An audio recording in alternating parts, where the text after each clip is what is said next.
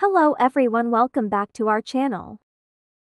In this video, we gonna share about Dream the series of Faye and May. The series Dream, a popular novel by author Chao Planoy, started showing EP1 on the night of May 8th. It is interesting because it is interwoven with supernatural themes. Freen Becky's junior pair, Faye and May, are the main characters in the Dream series. It is the second GL series of Idol Factory, Faye portrayed by Kanyafit Nanakan, embodies the character of Dawn, while May, portrayed by Yada Wacharamasic, brings to life the role of Kin Han. In the story, there is a girl named Dawn who always dreams of someone. Always in her dreams, a girl who smiled at her with a beautiful smile. A Dawn was in love without knowing it, and she was so obsessed that she wanted to see her outside. Dot dot. Dawn met the girl she met in his dream outside.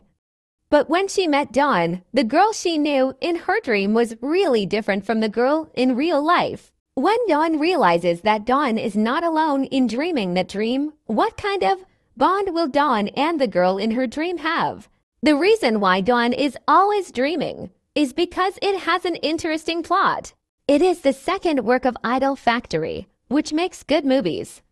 This series is filmed and produced by IDF, the company of Gap Series.